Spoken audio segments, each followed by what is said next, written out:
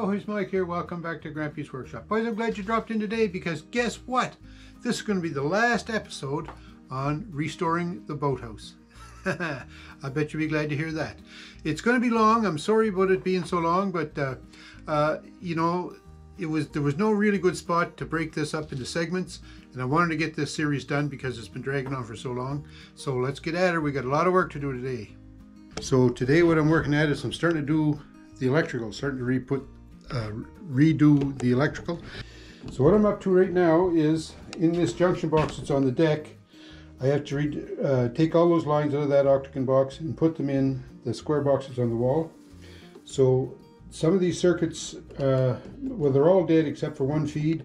So I have to find that feed and uh, disconnect it so that I can tie everything in. So I'm going to do that. And when I come back, I'll have, I hopefully will have them all in this box for you. Well, as you can see now, I've got my box mounted and I've got my feed coming from the camp. That's what that teck cable is coming to the bottom. That's the feed coming from the camp. And then I've got my disconnect mounted for the pump so that we can tie in. We need to run uh, 220 feet over to the pump disconnect and then a feed from the pump, from the disconnect to the pump. And then also a 220 feed from this box direct over to the heater. So I've got this multi-conductor cable coming down from the camp that brings the power and everything down here. So I'm starting to identify the connectors, or the conductors, I mean. I had gone through them before and put tags on them. Uh, and then what I have is I have, I made this drawing a long time ago that shows the layout of the, I have a junction box under the camp for distribution of power.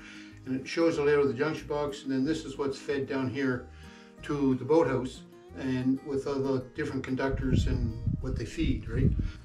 This is the feed that goes back to this uh, thermostat it. So that's going to come through here. Yeah, so why don't I do that? Put that right in this knockout right here.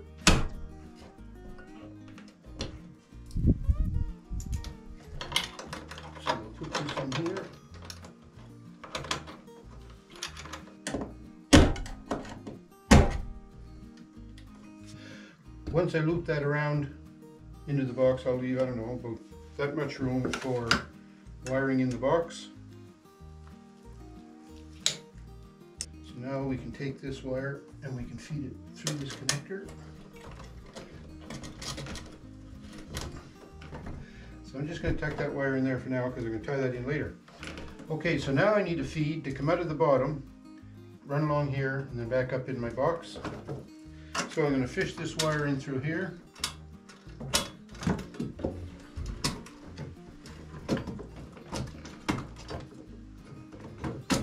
Okay, I'm going to have to make another entry into this box, so put this box connector right in here.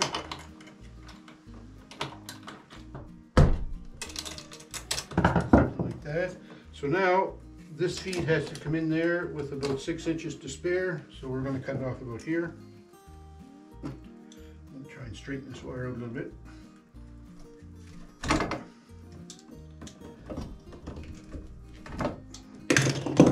Alright, so that's going to come down there, twist around there, and come up there. And this is going to go in here, like so. And then tuck it in the back. Alright, so there's the feed to the switch. When I turn that on now, then these terminals will be energized, right? So, I have nothing more to do in this switch till it comes time to hook up the pump. And now, this and this feed is going to go for the pump. So this is going to be pump one. So now we're just going to twist these wires together and then put the Marrette connector on it. Check everything. That's good and tight. All right, so that feller is done. And so here's pump two. And then we'll join these two together.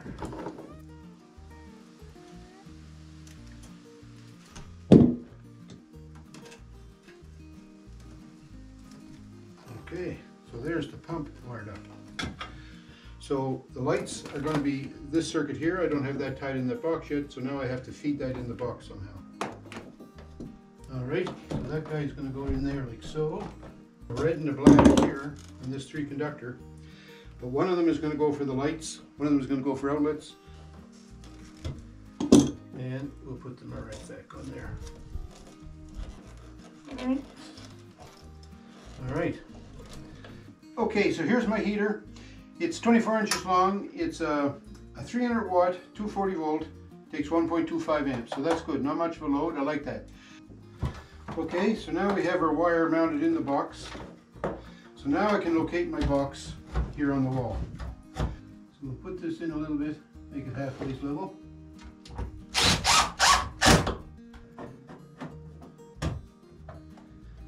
All right, one heater.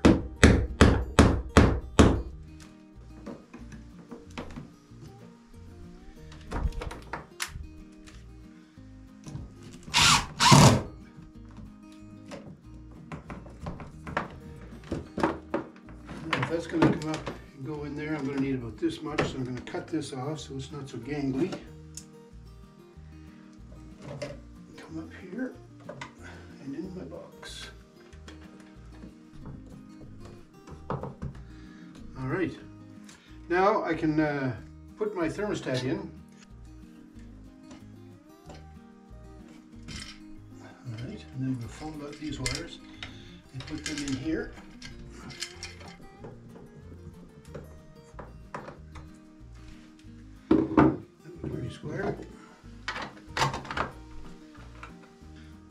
I think I have the power isolated, so let's just check that.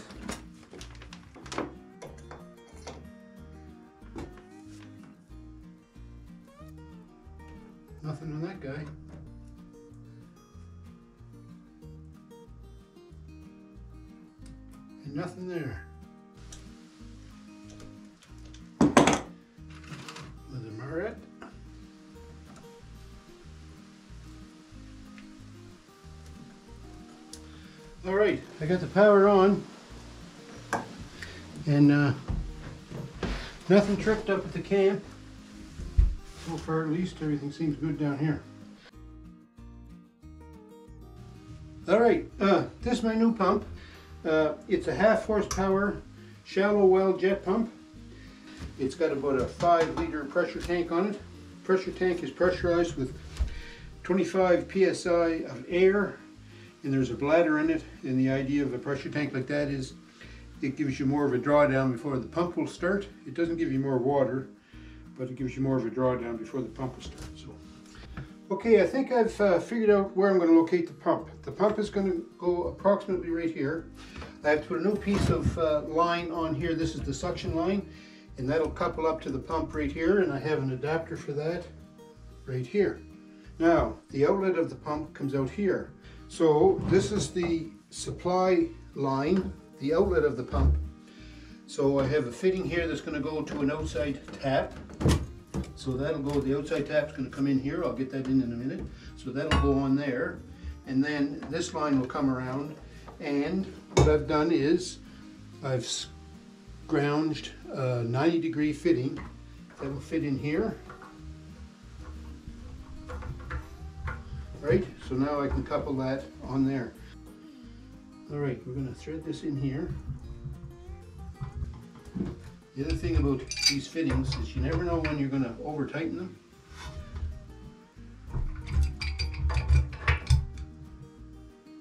I think that's going to be all right right there. All right, now we're going to put some Teflon tape on this fitting. This is for the suction line on the pump.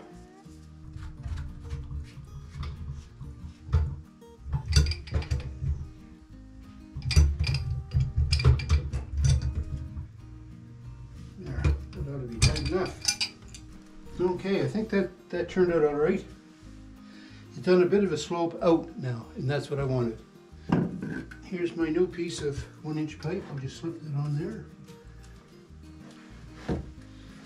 And I like to double clamp my uh, pipe fittings just because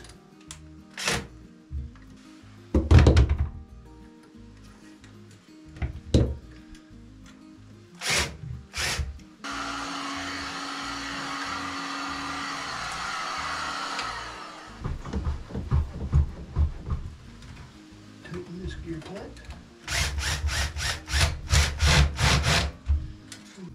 There we go. All right.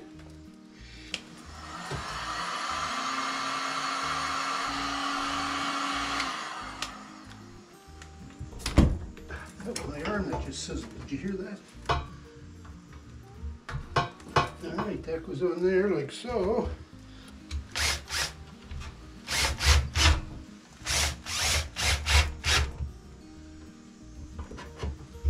So the water lines are connected to the pump, but now I have this auxiliary water line for the uh, outside tap.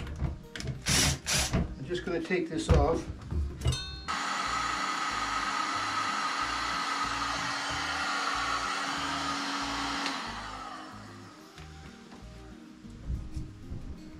Okay, out that comes.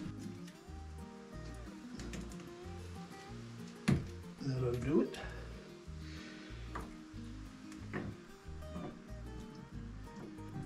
Go like that.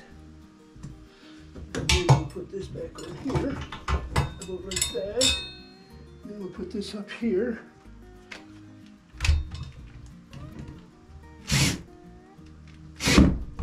The only thing left to do now is wire up the pump and prime it. Put this guy in there.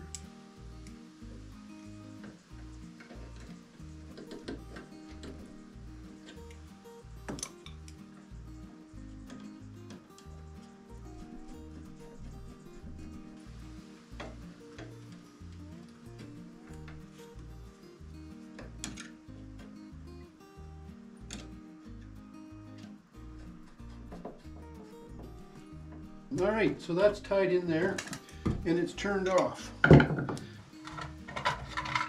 The pressures on this pump are preset at 30 to 50 and in order to wire 220 inside this junction box on the motor there's just a little slide switch that says 110 or 220 so I've already moved that to the 220 side so I don't have to make any adjustments on the pressure. I have another uh, box connector for this side so I'll put that on here.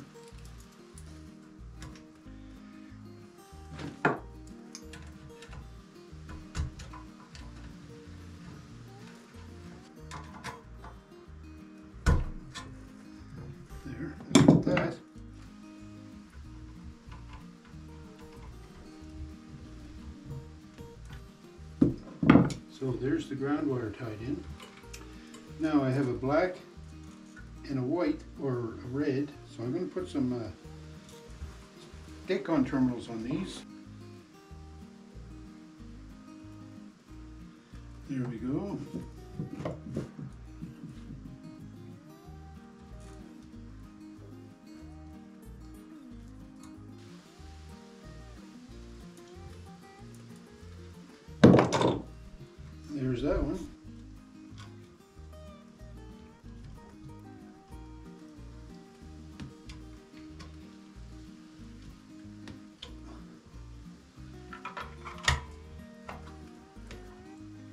When I turn on that switch, this pump will start, but I don't want to start it just yet because we have to uh, prime it. Now I have some water here and I'm going to prime the pump.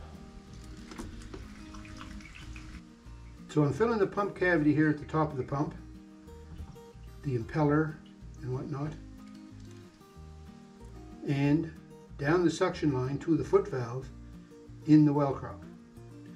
All right, so I think I've got my pump cavity filled, so I'm going to put this plug back in here. If there's enough water in the cavity, uh, it'll start to pump and it'll pick up a prime and it'll start pumping and then once it starts to pump, it'll sort of uh, purge itself then. All the air will eventually purge out of it. So what I'm going to do is hopefully draw water out of the crocks into the pump body, out through here, down this braided hose into the pressure tank, but out through this line I have this valve shut off so that shouldn't go anywhere because I just want to charge the tank right now and see if it builds up pressure. So here we go, the first start of the pump, see what happens.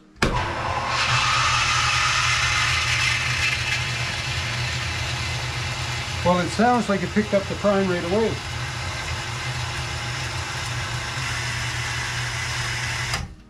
How about that? It picked the prime up right away and so I'm impressed with that.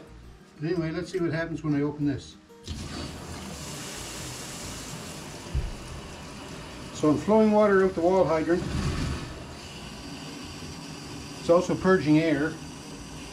Pump pressure is dropping. I don't know how well you can see that gauge.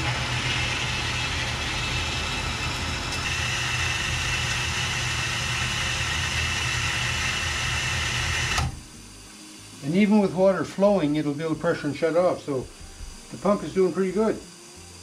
So uh, because this wall was pushed out, I end up with a little gap in here. Well, not a little, it's about a half inch at the top. Tapers down to nothing at the bottom. But there's also a gap right at the base of this asphalt. So I got some expanding foam. The thing about this is you never know how much to put in, right? Because it'll expand. Hence the name.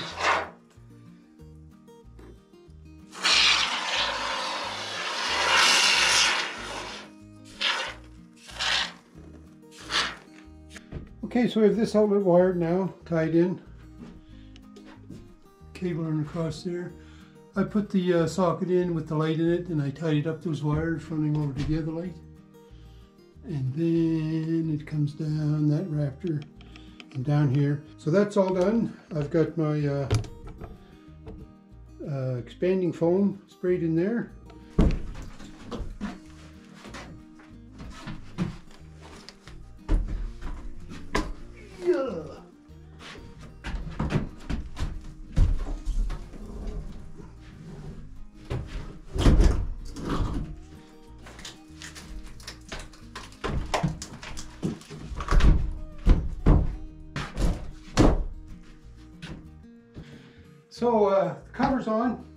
Pretty tight.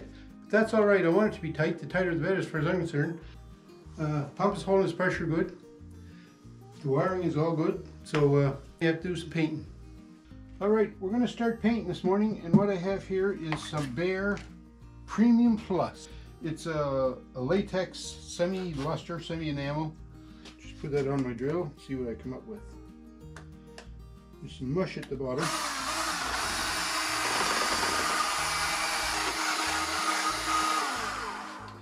All right, I've been mixing this now for about 15 minutes. I've got this fancy little gizmo thingy right here.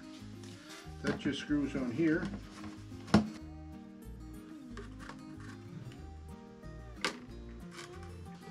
And then for painting, uh, because I'm not a pro painter, I just went to the dollar store and I bought a bunch of these uh, paintbrushes. They used to be a dollar each. They're two and a half inches, just nylon bristle uh, tapered. I like the tapered ones because you can get into the corners a little easier with it.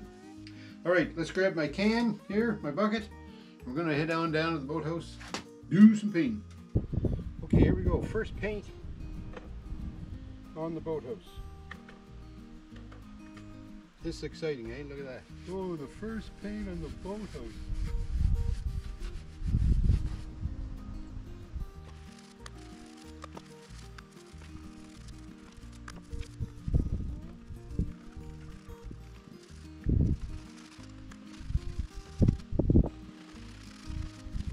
Managed today to finish off painting all the trim. The, uh, the paint I used was a Behr Premium uh, sash and trim and uh, I managed to paint it once and then it dried so quick I was able to come back and put the second coat right on without having to move the ladder. So I lucked out there. Paint the trim first, it's a lot easier. You paint the trim you can be as sloppy as you want along the edges. You don't have to cut in really well. You have to just make sure all your trim is covered. And then when you put the base coat on, then you can cut in. And it seems like it's easier to cut in the base coat than it is the trim. Hey, big day at the lake here today. Uh, we're going to start painting the boathouse with gray. So I got some more Behr Premium Ultra, this is. And uh, it's made for putting on smart panel. So uh, it it's not like a stain, eh? So it's like a latex. Anyways, we're going to start putting this on. Hey, hey, hey, one step closer. Won't be long now, eh?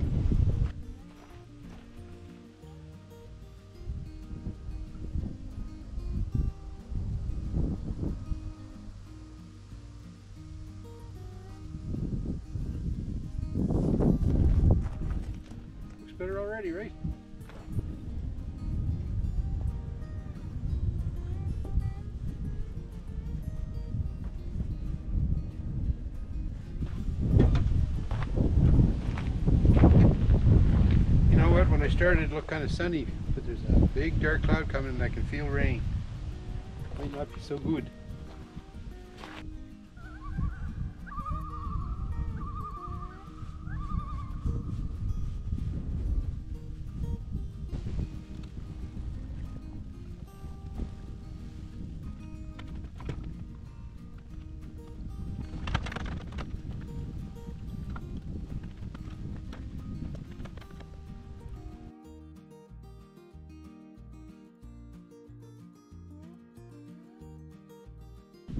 Painting's all finished. Dang. yeah. Let's have a look. So this side, just finished painting this side. Doesn't look too bad, eh? And then this side, didn't turn out too bad. I put the shutters back on. They look pretty nice too. Brightened it up a little. And what I was concerned about here was where I had to machine those grooves in that top gable. I've got two coats of paint on that now. And, uh, I don't know, I think the grooves match up pretty good. Around the front here, I got the doors working good. And I got all the trim painted around there and then I cut in and painted this side. It looks gray. and then I lucked out on this side because uh, there's a lattice on there and Nannie had a beautiful clematis on that uh, trellis along with a rose bush but uh, because of the storm and a lot of other issues going on we weren't able to uh, tend to the rose and it kind of died back. And now the clematis is trying to uh, struggle to get some some sun. But it's looking pretty good. So that doesn't look too bad either you know? I sure want to thank uh, my sons Gerry Chris and Derek for all the help they gave us doing this. Uh, couldn't have done it without their help that's for sure. It was a major undertaking getting this boathouse redone. I thought I was going to do it you know in a couple of weeks. Well here it is a couple of months later we're finishing it up. And uh, I want to thank all you folks for watching too for uh, you know all your patience because uh, wow this was a long project eh? I don't know how many parts it is but this is the last one. Thanks for watching everybody. Sure hope you have a great summer what's left of it now. And we'll talk to you